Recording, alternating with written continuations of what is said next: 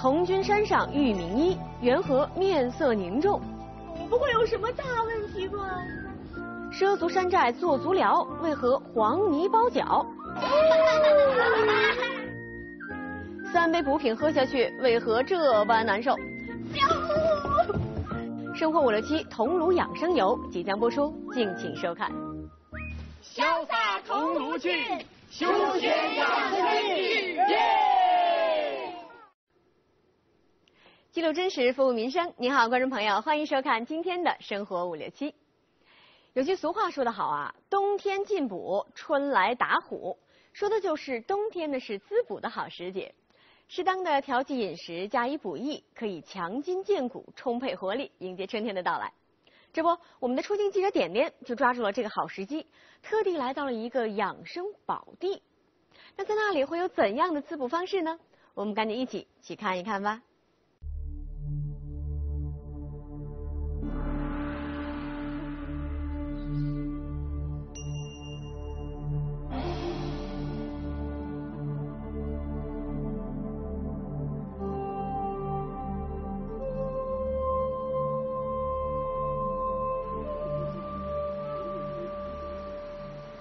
点点现在叩拜的这位老人呢，是有着中医药鼻祖之称的同居老人。我现在是在浙江省的桐庐县，这儿的养生旅游非常的有名。你看最近吧，我这脸色确实是很差，还还长痘，所以来这儿啊就想寻到什么秘方，看能不能解决这些问题。哎，点点啊，嗯，我刚才看到你拜我们这个童军老人非常的诚心呢。那当然了，我是想来解决问题的。那你可就来对了。那在我们这个童军山上就有个非常有名的老中医，要不我带你去看一看？真的？赶紧走。走。桐庐县距离杭州市区六十多公里，地处钱塘江中游。元代著名画家黄公望的传世名作《富春山居图》中所描绘的秀美富春江流贯境内，山的伟岸，石的气势，水的灵韵，林的秀色。构成了桐庐山水洞天、色彩斑斓的生态美景。近年来，桐庐县依托自身的自然资源和历史底蕴，全力打造中医药养生旅游、慢生活体验区等独具特色的休闲农业。潇洒桐庐去，休闲养生去，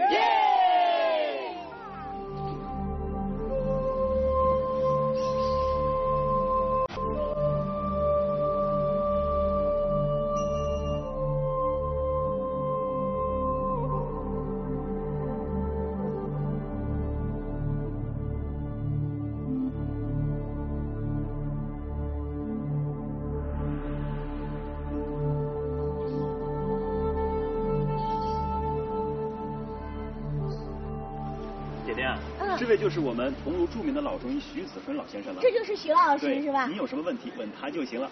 徐老师您好，哎我是点点。啊你好久不见了你们看徐老师这个气色呀，鹤发童颜的，我觉得找您解决我问题准没错。哎呦，我是听说这边不是中医养生特别好吗？我说我最近气色特别差，哎我想让您给看一看。啊，好的。那等会儿您给我。徐老先生是当地非常有名的老中医，他出生于中医世家，行医治病已经将近有五十年了。现在是童军药祖国医馆的名誉馆长。虽然他已经七十二岁高龄，但是每周还会在国医馆出诊一到两次。要挂上他的号，可是要提前几周预约的。所以点点今天真是够幸运。老先生面色凝重，我不会有什么大问题吧？根据你的体色来看，嗯，哎，说明你这气血不足，那么致使你不温，容易怕冷。对我很怕冷。哎你这个寒气的，嗯，哎，但是里面内火也偏旺。你要调理之前呢，我是要把你开路要先开，开路。吃高方前呢，嗯，一定要先开路。对，您提到这个膏方，我知道膏方是很有名的。嗯那您现在给我开的方子还不是膏方吗？不是，是开要在路方膏方前做好准备。滋补养生小贴士：膏方滋补。膏方又叫膏剂，属于中医八种剂型之一，一般由二十味左右的中药组成，具有很好的滋补作用。根据春生、夏长、秋收、冬藏的中医理论，冬令进补以膏方为最佳，但这膏方吃起来可是很有讲究的。徐老说，吃膏方之前，首先要吃开路方，就是根据每个人体质的不同，先开一些能润脾健胃、理气化湿的中药，为膏方的消化吸收创造有利条件。开路方通常要吃上两周左右呢，所以点点心急可是吃不上好膏方哦。点点，你看这儿就是我们桐庐最大的铁皮石斛的种植基地。铁皮石斛啊，很名贵的中草药。大哥，咱们这儿石斛种了有多少啊？呃，我们这个基地有两百五十亩两百五十亩啊，然后我们在境外筹建三百亩，还有三百亩哦这么大的面积，那说明这个石斛的市场很好了。是啊，目前来说还是可以的。可以的，那这个嗯石斛能卖到多少钱一斤啊？啊，它这个的话是你要看这鲜品，还有就是干品。哦，鲜的话基本上在两克，呃两块钱一克左右。两块钱一克那就说明一千多块钱一斤了。啊对，哎呀，真够贵的。那干品呢？干品的话在十块钱左右。在唐代医学经典《道藏》中，铁皮石斛被列为中华九大仙草之首，具有益胃生津、滋阴清热、增强免疫力等作用。而且石斛不只是药用，还可以榨汁儿、炖菜，具有很好的滋补作用。大哥，这个就这么吃吗？这个你就把叶子去掉，叶子不吃，然后嗯咬一节，就放在嘴掰一节巴里面哦，这样掰一节就嗯就吃啦，对，怎么样？黏糊糊的，啊就黏糊糊的，黏糊糊还带点酸。带点酸是吧？那大哥，刚才您说它这个有滋阴什么的效果，那那那我能吃吗？能啊，我也能吃那。男孩子就 就不要那那吃了我我我肚子里会有什么效果？肚子里面跟跟你根 啊滋阴去。不管了，我先吃一根啊啊。好，哎，不管了。在桐庐，不但有铁皮石斛种植基地，还有灵芝、柴胡等草药品种，以及银杏、红豆杉、杜仲等木本中药材。全县中药材种植面积达一万多亩，青青百草园，悠悠草药香。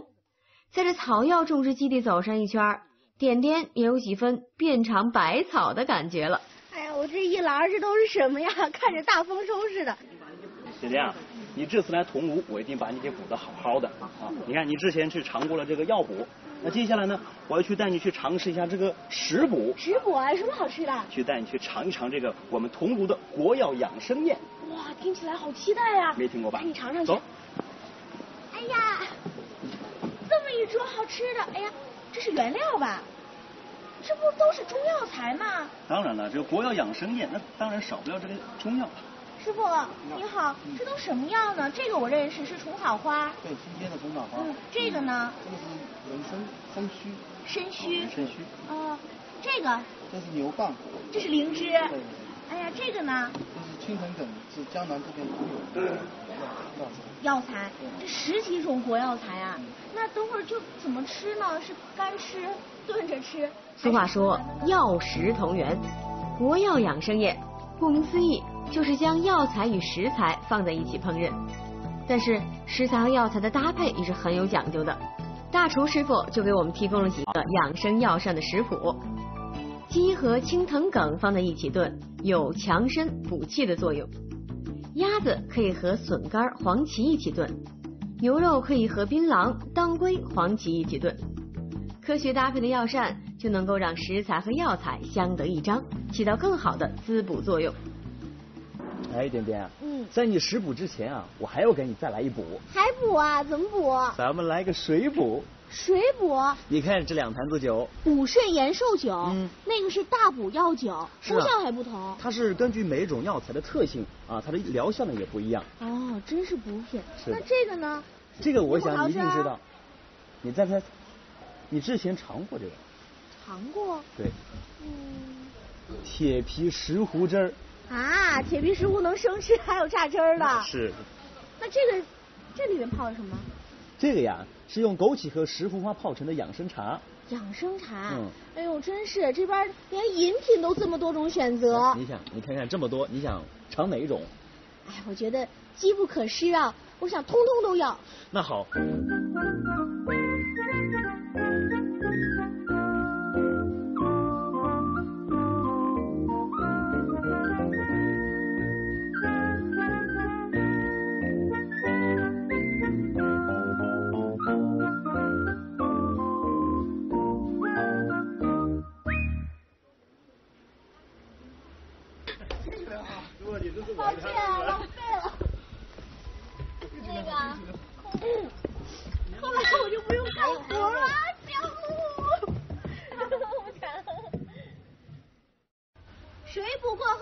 食补上桌，看这一桌多丰盛。师傅，这都什么菜啊？这是当归、槟榔、炖野猪肚。这个是青藤梗、黄芪味野神仙鸡，真香。这个是虫草花野生浪花鱼。名字真好听，这个呢？这是太极养生粉，是拿什么做的？用黑米粉跟那个梗米粉。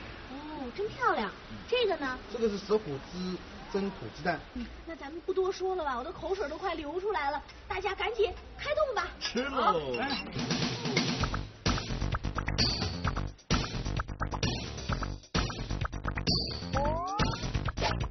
在桐庐，不但可以吃到活药养生宴。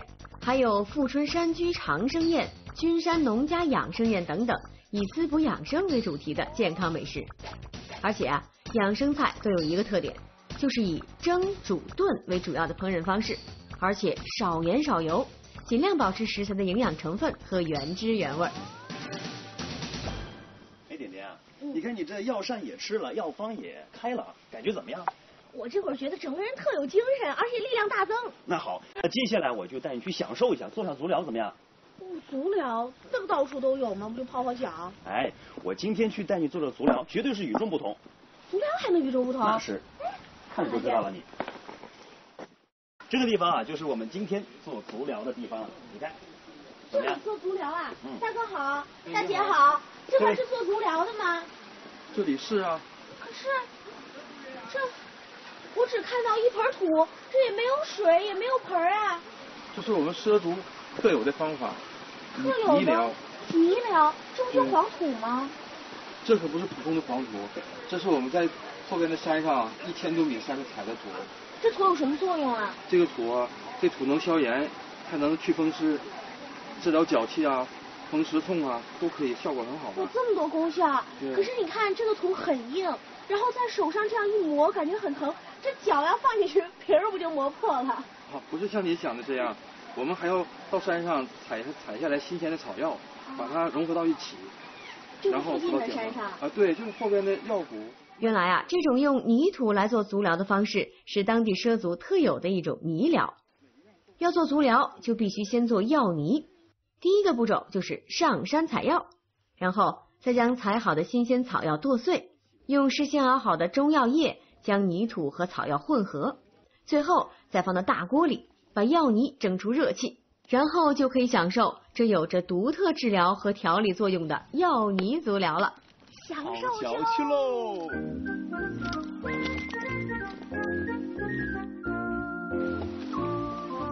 好软乎呀，而且还有那种热的那种温温的感觉。那要把脚都包住吗？都包住。嗯，全护住。对对对。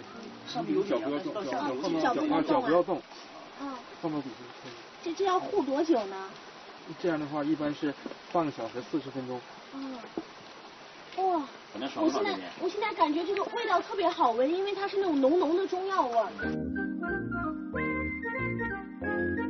这不光这个能这个吸收这个草药的药液，而且这个盆底还有按摩球，然后可以按摩着。它最重要的黄泥。它这个这种密度啊，比这个水比较比较大，人可能这个这个脚步啊有一种像像铝啊这种渗透的这种感觉，更容易吸收。对对。这等会儿我的脚一定会很白嫩哈。那肯定是会的，一定会的。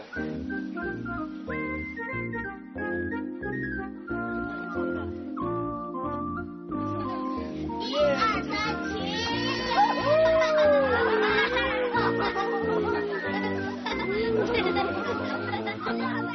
做完天然的泥疗，再用山泉水把脚上的药泥洗净，天人合一的养生理念在这里得到了充分的体现。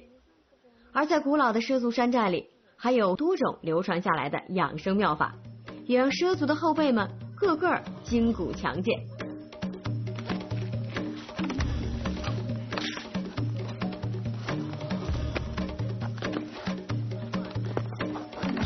大哥，我看这边就是畲族的老人、小孩、年轻人都会练武功，而且每人练的都不同。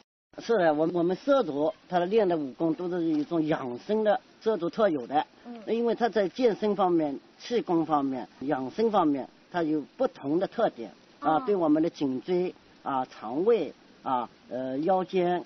啊，腿上风那个关节就针对不同的病都有不同的这个方式。啊，对。那太好了，我最近就是因为这个颈椎吧，嗯，老爱疼，嗯，这做什么动作好一点呢？嗯，那我教你几个动作，把这个颈椎练习的颈椎的那个动作跟腰椎的那个这个可以舒展一下。哎呀，太好了。整个人这个手往这边的手往下插，呃，这边手往耳根上去。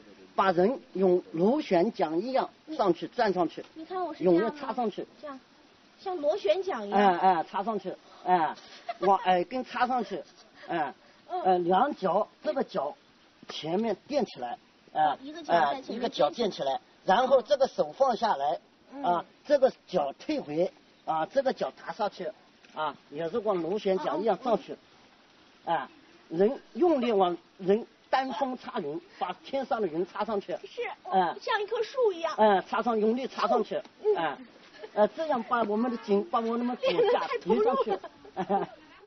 开养生药方，尝滋补草药，品养生药膳，享养生医疗，又学了这个养生的武术。哎呦，点点这次补的可真是够全的啊！这种独特的中医药养生方法和秀美的生态环境，也使得桐庐拥有长寿之乡的美誉。而且啊。这里的长寿老人据说还个个身手不凡。广告之后，咱们一起去那里继续接着走。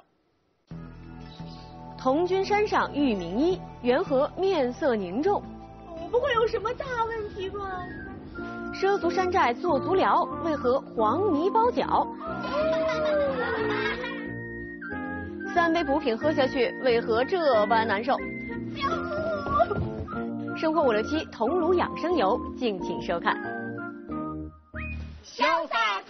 去，休闲养生去，耶！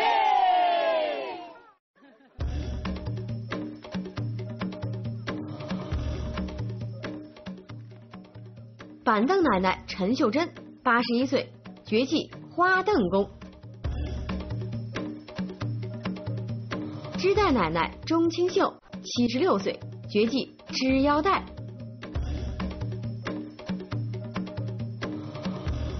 百岁奶奶周阿娜，九十九岁，绝技摘毛豆。山水毓秀，所以人杰地灵。桐庐县的森林覆盖率达到百分之七十二点二，全年空气优良天数达到三百二十天以上。富春江、分水江碧波万顷，流贯全境。得天独厚的生态环境和中医药文化的积淀，使得桐庐拥有长寿之乡、养生福地的美誉。中国画城潇洒桐所谓中国画城，这里呢是山水如画，城乡如画，和谐如画。因此，我们啊这个热情的欢迎啊和期盼全国的啊这个是相关人士啊这个到我们杭州桐庐潇洒一番，休休闲，度度假。天上掉下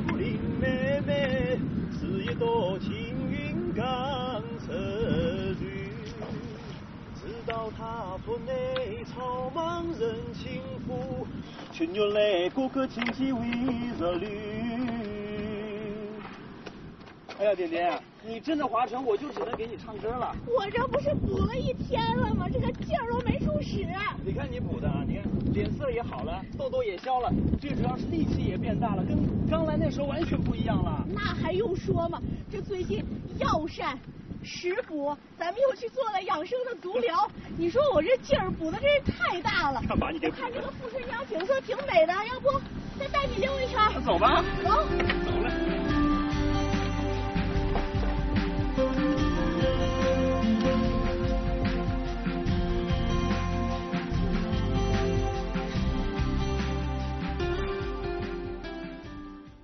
北宋文学家范仲淹曾在桐庐县写下了《潇洒桐庐郡十绝》，用整整的十首五言诗来称赞桐庐的秀丽和潇洒。如今，桐庐让更多的人在山水之间放松心灵，放慢生活，滋补养生。如果你也想像点点一样来一个全方位的滋补，那么桐庐将会是一个不错的选择。好了，今天节目就到这里了。今天的有奖说诗问题是。答对的观众有机会获得月奖，广州万宝集团冰箱有限公司提供的冰箱一台。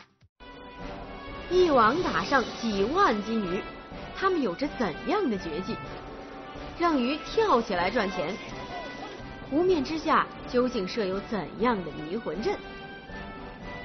巨网捕鱼，敬请收看。